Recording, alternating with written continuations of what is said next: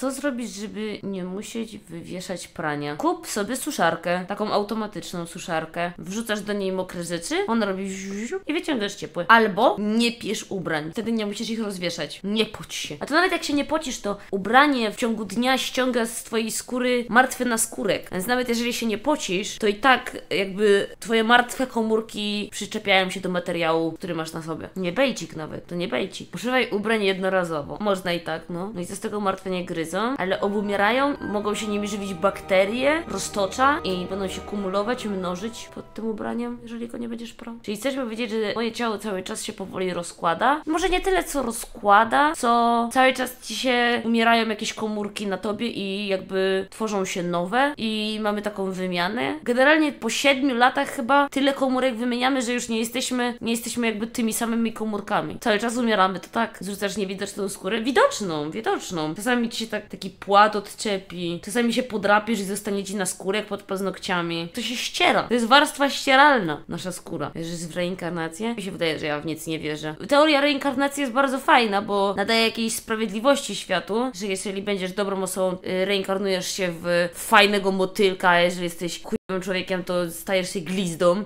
Jakby masz takie poczucie sprawiedliwości i przede wszystkim cel dążenia w swoim życiu, więc jest to fajne z punktu egzystencjonalnego. Ale nie wiem, no teoria nieba i piekła jest bardzo podobną rzeczą, tylko że wtedy idziesz w dobre miejsce i w złe miejsce, opiera się na tym samym mniej więcej. Mnie się najbardziej podoba teoria jaskini platońskiej. To jest fajne. Niemożliwe? No serio ci mówię. Ale ta teoria podoba mi się najbardziej, dlatego że w każdej innej religii bądź teorii jakby nie ma nic więcej. W sensie idziesz do nieba albo idziesz do piekła. Jesteś nagrodzony, że jesteś dobrym człowiekiem, jesteś złym człowiekiem. A tutaj w tej teorii jest tak, że zobaczysz coś więcej, zobaczysz jak to wygląda naprawdę, zobaczysz to gdzieś od kulis, zobaczysz coś innego. To jest takie ciekawe dla mnie. Studiowałaś filozofię? Nie, ale miałam bardzo fajną panią polonistkę w liceum, która kiedy omawialiśmy właśnie starożytność i, i te wszystkich filozofów i jakby takie zagadnienia, opowiadała to z taką pasją i z takim... To była nauczycielka taka, wiecie, z powołania, nie? I ja jeżdżąc do domu później, sama sobie czy, czytałam o różnych filozofiach, o różnych rzeczach i bardzo dużo czasu na to poświęciłam. I bardzo mi się to podobało. Jaka jest Twoja teoria życia po śmierci?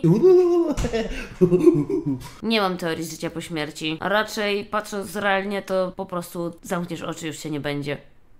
Jest to dosyć dołujące, dlatego wydaje mi się, że religie są o tyle lepsze, że. Znaczy, ja podziwiam generalnie ludzi, którzy coś wierzą. Umiesz komuś na słowo zaufać, że tak jest, nie? I ktoś mówi ci, że tak jest, a ty. O, fajnie, dobra, to teraz ja też tak sądzę. Dla mnie to jest zaskakujące. Bardzo zazdroszczę ludziom wierzącym. Ludzie wierzący mają bardzo, bardzo, dużo, dużo łatwiej. Już od początku masz określony cel dążenia w życiu. Że wiesz, pomaga ci to w decyzjach, nie? Zawsze chcesz robić to, żeby trafić później do nieba na życie wieczne, jakieś takie, żeby być zbawionym, nie? To wiesz, ale to się nie da tak powiedzieć. To trzeba czuć. Baba od religii nam kazała przeczytać całą Biblię w dwa dni. Ja w swoim życiu kilka razy przeczytałam Biblię. Całą?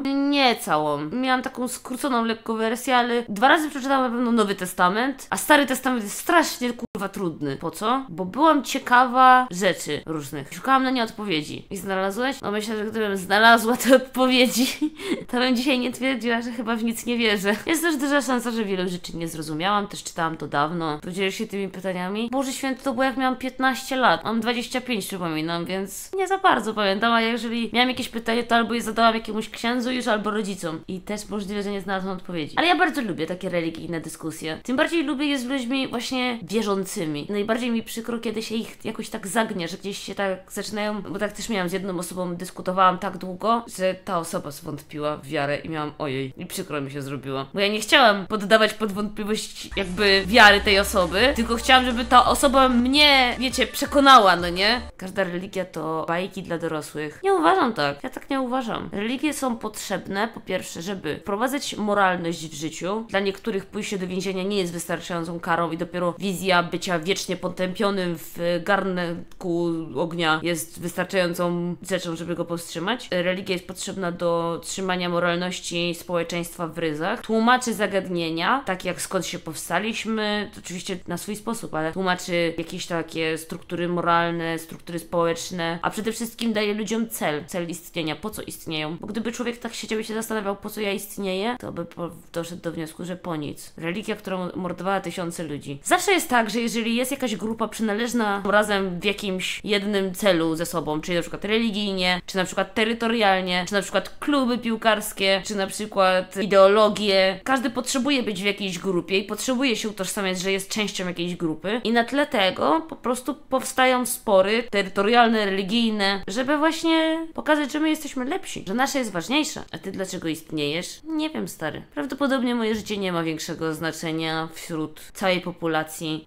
Patrząc w porównaniu do całego wszechświata, jestem tylko jakimś marnym kurzem, ziarnkiem piasku. Moje życie nie wpłynie za bardzo na przebieg historii. Tego, żyję, żeby jeść dobre jedzonko, żyję, żeby się śmiać, cieszyć, smucić, trochę depresyjnie. Kiedy w życiu nie masz właśnie tej wiary i tej religii, tego, że po śmierci coś więcej się dzieje z tobą, właśnie zostaje ci ten smutek tylko. Dlatego uważam, że wiara jest fajna. Jak zazdrościsz, to czemu nie spróbujesz? No bo uważam, że to się nie da tak, że stwierdzam, a ja sobie będę wierzyć. Po prostu ja tego gdzieś nie czuję w sobie. Dla mnie jesteś ważna. Wiem, ja też mam ludzi, którzy są dla mnie ważni i wiem, że ja jestem ważna dla kilku osób, także zdaję sobie z tego sprawę. Tylko i tak jakby przyrównując to do ogromu wszechświata, to nie ma znaczenia. Za 100 lat nikt nie będzie wiedział, że istniałam, że wy istnieliście. Ale czemu cię ranię, mówiąc prawdę? Dlaczego mówisz, że cię ranię? To, że nie myślisz o tym na co dzień, nie znaczy, że to coś zmienia. Ale nie potrzeba wierzyć w jakąś wiarę, żeby mieć cele i ambicje, których nie masz. Jak masz cele w życiu i idziesz w tym kierunku, to wtedy możesz poczuć jakiś sens życia. Oczywiście, że tak. Jedynie wiara tłumaczy ci to, co się stanie z tobą po śmierci. Bo co, jeżeli ty będziesz miał wspaniałą firmę, dużo pieniędzy, będziesz zdrowy, miał wnuki, wspaniałą żonę, piękny dom, skoro umrzesz i to ci nic nie da, rozumiesz? Cel twojego życia, możesz go na tym świecie sobie wyznaczać. W kontekście tego, co jest później, nic ci to nie da. I tak umrzesz. Czy dorobisz się majątku, czy jesteś biednym żebrakiem z ulicy, czy jesteś profesorem na uczelni, czy menelem spod mostu. Umrzesz tak samo i nic po tobie nie zostanie. Ale generalny zamysł wiary jest taki, żebyś był dobry dla innych ludzi, wielbił Boga i był miłym człowiekiem. I płacić na kościół. Jesteśmy, wydaje mi się, w na tyle po, doinformowanym, doedukowanym gronie, że jesteśmy w stanie odróżnić wiarę i religię od instytucji kościoła i mankamentów człowieczeństwa. Wiara ma znaczenie polityczne, w takim celu powstała. Wydaje mi się, że wiara ma bardziej zadanie społeczne i znaczenie społeczne niż polityczne. To, że teraz jest wykorzystywana do polityki, to jest inna rzecz. Jak dla mnie, moim takim idealnym wyobrażeniem tego, co jest po śmierci, jest, że każdy trafia w miejsce, w które wierzył. Że jeżeli wierzyłeś w chrześcijanizm, idziesz do, do bram nieba, do Piotra, otwierasz se to kluczem, jest Bóg, jest Jezus, wszystko jest, nie? Jak wierzysz w wielkiego potwora spaghetti, idziesz do wielkiego potwora spaghetti. Wierzyłeś w reinkarnację, reinkarnujesz się w motylka. I że każdy, każdy co robi co chce, nie? To by było najfajniejsze. Wtedy każdy po śmierci był, miałby takie, o, miałem rację, nie? Czyli to jednak moja wiara była tą właściwą. He, oni nie wiedzą. Po pierwsze, to koniec przyjaźni polskiego rządu z Wołodymirem Zełęskim. Unia Europejska zniosła embargo na import zboża z Ukrainy. Natomiast nie zgodził się na to polski rząd, ponieważ PiS walczy teraz o głosy rolników. Na co Zełęski zareagował bardzo gwałtownie, zarzucając polskiemu rządowi, że działa w interesie Rosji. Na co Morawiecki odpowiedział, że już nie wysyłamy broni na Ukrainę, a teraz będziemy się dozbrajać sami. Bardzo niewygodne to są wydarzenia, które się dzieją. Społeczeństwo jest już dość zmęczone ilością uchodźców, jakie są u nas z Ukrainy. I zaczynają się takie dosyć agresywne głosy w stosunku do, do Ukraińców. Rzeczy, które się dzieją, tylko naogniają bardzo ten, ten konflikt. Tacy ludzie na co dzień nie pomyślą, nie zatrzymają się na chwilę, nie stwierdzą, ej, przecież ten pan z Ubera, z którym jadę, nie ma nic wspólnego z tym, co się dzieje w polityce i nie ma na to żadnego wpływu. Tylko on weźmie i się wyżyje na nim, nie? Bardzo niefortunne wydarzenia. Z jednej strony jestem w stanie zrozumieć, że walcząc o głosy wyborców, PiS chce jak najbardziej pokazać, że dba o polskiego rolnika i o te ceny. Z drugiej strony, embargo na zboże z Ukrainy, wiadomo, że wpłynie na cenę zboża w Polsce,